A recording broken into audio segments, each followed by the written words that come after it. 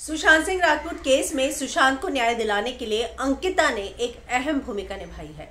जी हाँ सुशांत के निधन के बाद अंकिता जो है दो बार पटना गई थी। सूत्रों के मुताबिक, वो दो बार पटना गई, परिवार से मिली, श्वेता से मिली और जितनी भी चैट्स थी उनके पास, वो उन्होंने सारी की सारी परिवार को उपलब्ध कराई।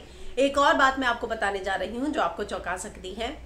सुशांत के परिवार जो है, जब उनको अंकिता से पता चला कि उनके पास वो सारी चैट है जिसमें सुशांत ने रिया के बारे में ये सारी बातें लिखी थी मणिकर्णिका जब रिलीज़ हुई तो सुशांत ने अंकिता को फो, मैसेजेस पे कॉन्ग्रेट्स किया, विश किया और साथ में उन्होंने ये भी लिखा कि किस तरह से वो अपने इस रिश्ते में बिल्कुल भी खुश नहीं, इस रिश्ते को खत्म करना चाहते हैं क्योंकि रिया उन्हें हैरेस करती है। और जब वो पहली बार घर गई पिता को और बहन को ये चैट देने के लिए, बताने के लिए तो परिवार ने इस बात को बताया कि उनको भी ऐसा लगता है, उनको भी शक है, उनके पास भी बहुत सबूत है।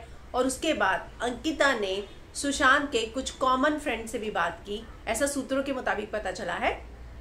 और जो जो जितनी भी डिटेल्स थी उनको इकट्ठा करके वो दोबारा फिर से गई थी पटना में और वहाँ पर भी उन्होंने सारी चीज़ों का ज़िक्र किया और जो है सारी चीज़ें जो है परिवार को उपलब्ध कराई।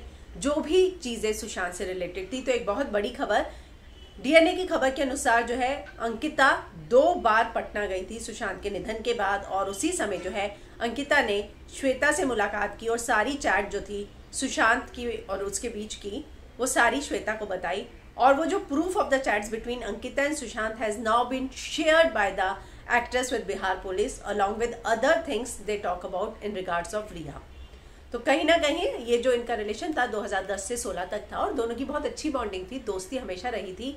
और इतना ही नहीं मणिकर्णिका के बाद जो है उन्होंने विश भी किया और ये भी कहा कि और सारी चीज़ें जो है रिलेशनशिप को लेकर उनकी डिस्कस हुई। तो ये सारी चीज़ें अंकिता ने जाकर परिवार को पटना में जाकर बताई थी। वो दो बार पटना गई थी।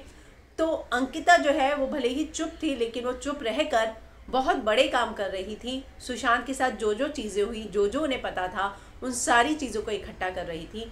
और कल जब परिवार ने जैसे ही एफआईआर डाली, अंकिता ने पोस्ट भी डाला था ट्रुथविंस इतना ही नहीं, उसके बाद जो है, उन्होंने, जब श्वेता ने रात को पोस्ट डाला तो उस पर अंकिता ने भी लिखा। अंकिता ने डाला तो श्वेता ने लिखा कि सच्चाई हमेशा साथ देगी, भगवान हमारे साथ है।